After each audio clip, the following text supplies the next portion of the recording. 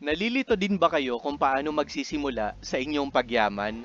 Sabi ni Robert Kiyosaki, may sampung hakbang daw para sa ating pagyaman. At lahat ng daw yan ay nasa ating mga sarili lamang. Una, the power of spirit. Pangalawa, the power of choice. The power of association. The learning quickly process. The self-discipline. The power of good advice The power of getting something for nothing. Focus. The power of myth. And the power of giving.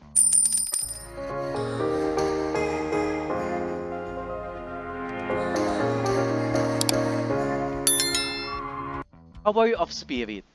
Sabi ni Robert Kiyosaki, nahahati lamang daw yan sa dalawa, sa mga hindi natin gusto at sa mga gusto natin ano nga ba yung mga hindi natin gusto? Siyempre, ayaw naman nating magtrabaho habang buhay.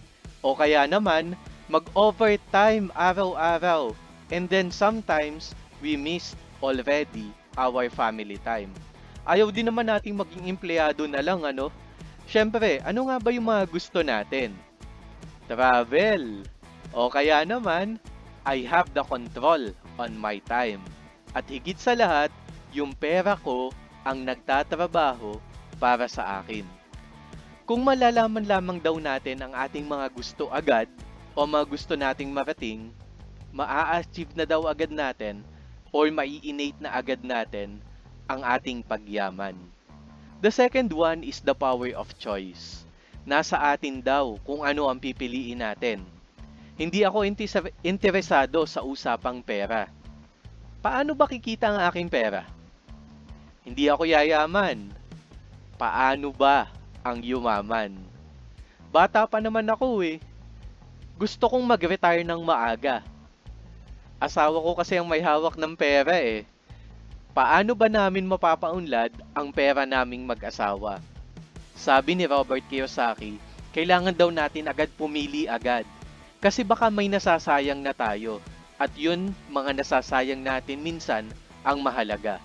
Yun ay ang oras at ang matututunan natin sa bawat pagsubok na kakaharapin natin sa napili nating bagay. The power of association. Sabi nga ni Dan Pena, ipakilala mo sa akin ang mga kaibigan mo at sasabihin ko sa iyo kung ano ang kinabukasan mo. The power of learning quickly. Marami tayong mga bagay na kailangang matutunan at i-master pero bilisan natin ang pag-aaral. Bilisan natin ang pagmamaster sa isang bagay. Let's master first one thing and then we will go to the next one. But we need to learn quickly. The power of self-discipline. Iba tong tinatawag natin na the power of self-discipline. Normally, sinasabi sa atin na magtipid tayo or be consistent, but The power of self-discipline here is paying yourself first. Ito yung pagkakaiba ng nagbabayad sa sarili at nagbabayad muna ng ibang gastusin. So can you imagine these two income statement? Una, siya yung tao na binabayaran niya muna ang sarili niya. So pag natanggap niya yung salary niya o yung income niya, diretso agad sa savings at investment. Saka pa lang papasok ang expenses tulad ng taxes, rent, at pagkain at kung ano-ano pang basic needs. Ito naman pangalawa, siya yung tao na babayaran nyo muna lahat. Rent, food, lahat ng expenses. At kung may matira, yun yung papasok sa assets. So kung ganun ang mangyayari, may tendency na walang matira para sa assets. At iikot na naman ang iyong mundo sa next payroll sa mga expenses at wala na namang matitira para sa assets mo na magbabayad sa next income sa or magiging next income opportunity mo na sana. The power of good advice or bayaran naman naman natin yung mga tao na tumutulong sa atin. Yung mga brokers natin, accountants, property managers, o yung mga emplea- iba nating empleyado sa ating ibang negosyo. So we need to pay them well so that we will receive the loyalty and the right uh, receive from them.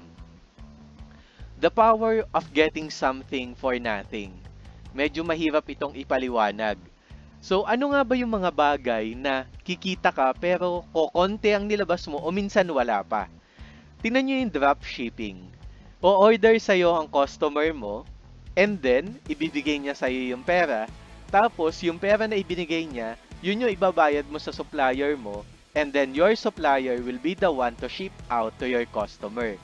So, natanggap mo na yung pera, kinuha mo na yung kabig mo, o kaya yung income mo, and then babayaran mo ngayon si supplier. Normally, dito sa Pilipinas, ang dropshipper natin ay Alibaba. And then, alam, rinig nyo na ba yung condo flipping o kaya naman house flipping? Medyo hindi ito common pero medyo madami na rin ang gumagawa.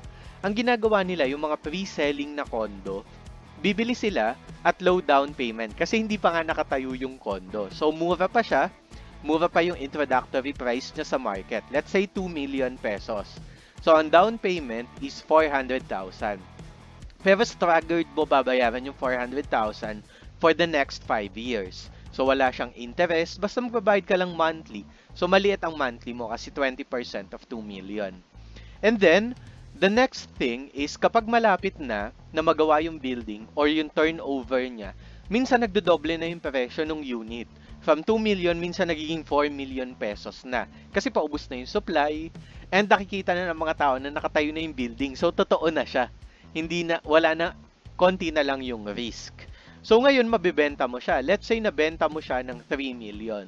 Pero ang contract price mo lang is 2 million. So, can you imagine, may 1 million difference agad? Yung 1 million na yon, siya na yung kita mo. Pero syempre, kailangan mo ding iles yung mga naihulog mo na na maliliit na halaga lang naman. So, doon ka na kumita. Ito na siguro yung pinaka-classic na pagkakakitaan na getting something for nothing. Ito yung common sa amin sa Batangas.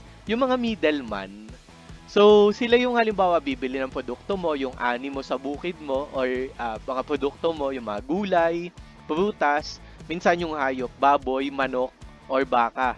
So, minsan kukunin nila sa iyo yung produkto, hindi ka muna nila babayaran. The next day kanila babayaran pag na-deliver na nila yung produkto. So, ngayon kukuha sila ng tracking services. Hindi rin muna nila babayaran yung, yung tracker. So, may contact na sila. And then, pag nadala nila sa Manila, mabibenta nila, saka kanila babayaran at saka yung tracking. So, may nakuha na silang tubo agad, tapos saka pa lang nila babayaran yung supplier nila yung tracker, at saka yung mga nagtanim. Pero papaikutin na nila ngayon ang papaikutin yung pondo nila. Yung kinita nila, so yun yung, uh, the next deal nila, yun na yung ipambabayad naman nila dun sa kukuhanan nila ng supply. So ganun umiikot para sa kanila at marami na naging successful na mga middleman doon sa amin sa Batangas. The power of focus. So sa power of focus, ito yung focus na tayo ngayon sa pagpapayaman. So may principal tayo at kumita. Ano yung gagawin mo ngayon sa kita? Sa kinita mo? Ia-add mo ba siya ngayon doon sa principal mo na na nauna? So principal plus yung kinita mo or reinvestment yung tawag natin. So yung principal plus kinita papaikutin mo ulit ngayon. Pwedeng mag-create ka ng another business aside from the sa, sa existing mo na and then create ng another one hanggang sa mapalago mo siya ng mapalago. The power of focus into getting rich. The next one is the power of meat. Sino ba yung mga heroes mo bukod sa family mo? Siyempre may mga tinitingala ka na gusto mong maging. Sana in the future, ako na ang susunod sa mga yapak nila. Malaking inspirasyon sila para sa mga para sa pagyaman mo. And the last one is the power of giving. Sabi nga nila, the more you give, the more you receive. Pero hindi naman kailangan na through donations ng pera or in-kind ang palagi mong gagawin. Marami ka nang natutunan. At ang pagbabahagi mo ng mga natutunan mo is the power of giving.